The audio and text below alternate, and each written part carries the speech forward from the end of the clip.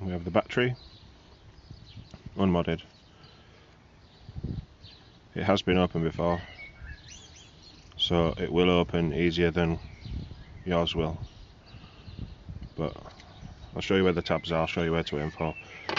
Just going to use a little knife to get in the edge, start at the corner, and carefully pop it out. And again up at the top near the clip. The same at the other side.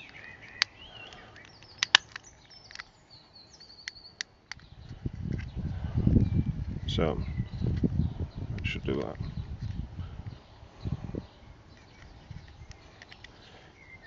And one at either side at the top. Be very careful because once you've done that, in there, see the board,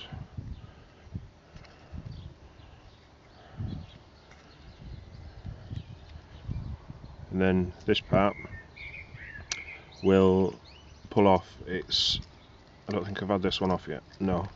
It is very very tight. They use double-sided tape. It's quite strong. There you go. So good firm pulling it will come off.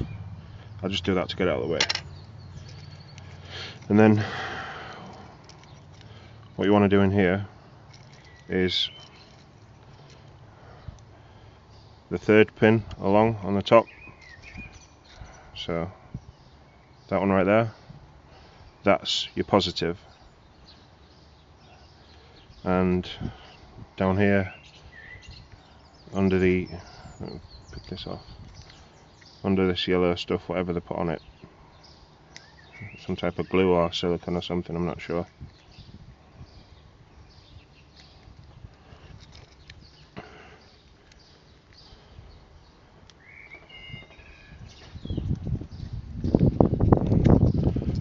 you'll see, I don't know if you can see if it focuses,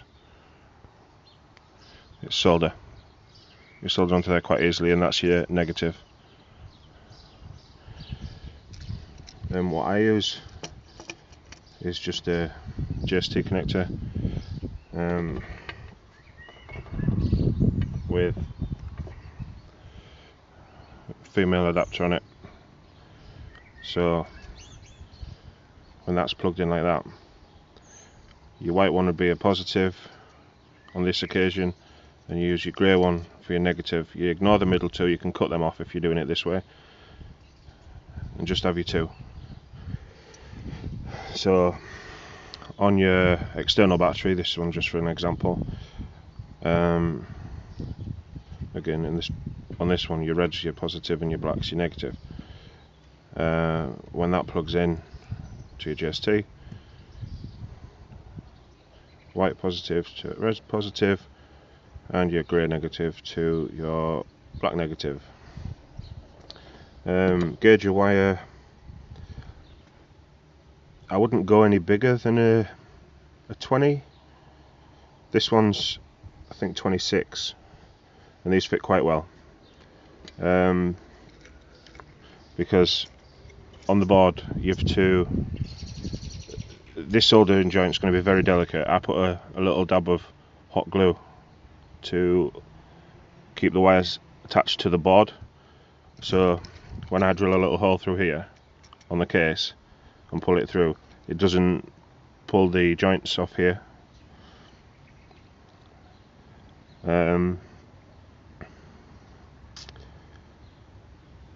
so when you drill your hole, you put your wires through, you solder them on, hot glue them, put it all back down.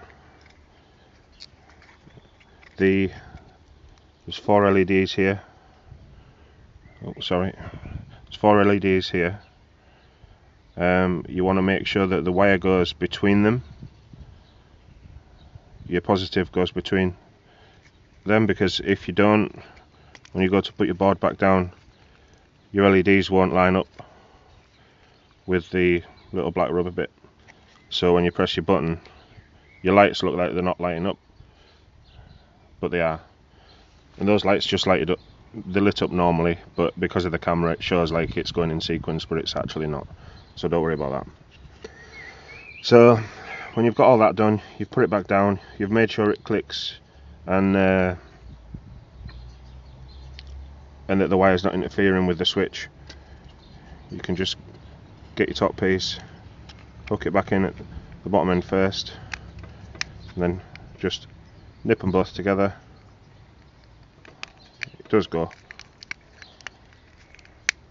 Sometimes takes a little bit of fiddling, but not sure what I've done there. Ah.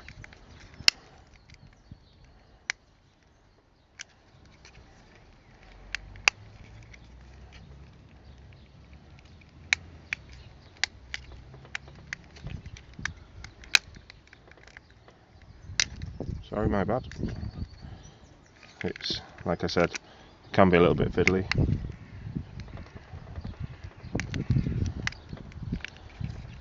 And this one, for whatever reason, doesn't want to go back down.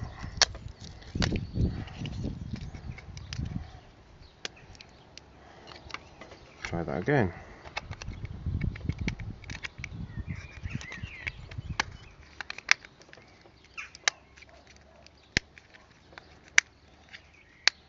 There you go.